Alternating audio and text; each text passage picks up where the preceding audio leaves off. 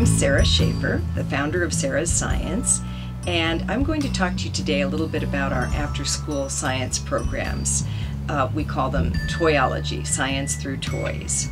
Um, our after school programs run for an hour each week, and generally a full session runs for 10 weeks.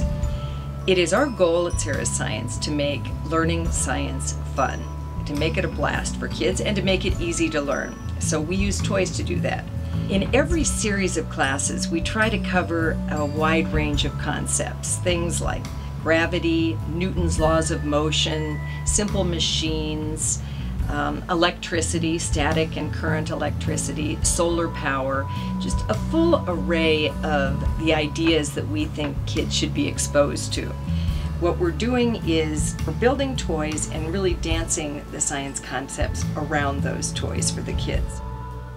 Start with a kit and first we'll start the class talking a little bit about the science topic that we're covering.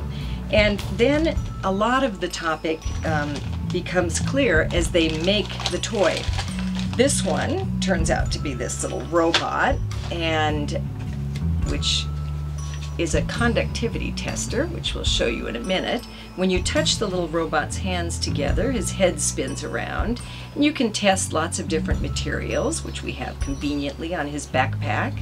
A straw, whoops, does not conduct electricity. Plastic does not, but a nice nail will conduct electricity and get that head moving.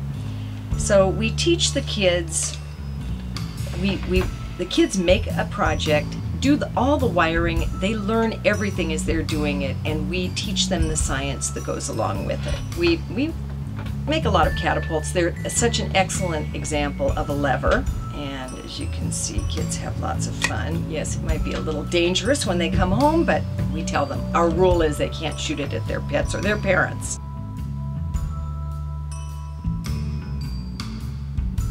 this is a little air cannon that we made and it, it shows you how, how impressive the air pressure can be in moving things and so this one is incredible it's a little capacitor so right now, as you can see, the propeller is not spinning.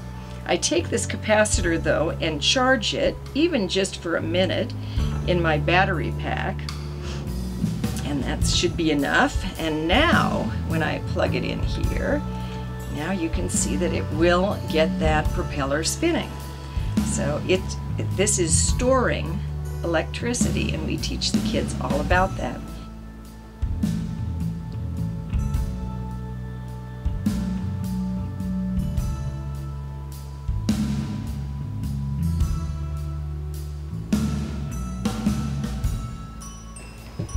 We look forward to having your child in Sarah's Science Toyology classes, where we make learning science fun.